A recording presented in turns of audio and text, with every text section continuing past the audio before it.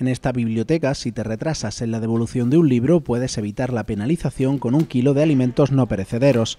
Está en Íjar, un anejo del pueblo granadino de Las Gavias, y la iniciativa surgió de Ruth, su bibliotecaria. El usuario puede seguir sacándose en préstamo sus libros y el más necesitado tiene algo para comer una manera de ayudar. El pueblo se ha volcado con esta idea y los usuarios incluso llevan alimentos a la biblioteca a pesar de entregar a tiempo sus libros. Aunque traiga el libro a tiempo, pues puede ayudar a contribuir para la buena causa trayendo alimentos a la gente. Muy solidario y original, la verdad, porque no lo había visto en otra biblioteca. Me parece muy buena iniciativa porque la penalización en sí de no coger libros no sirvió para nada. Entonces, lo de los alimentos pues está bien. Me parece muy bien porque es una iniciativa solidaria. En el ayuntamiento están atendiendo a unas 250 familias con necesidades.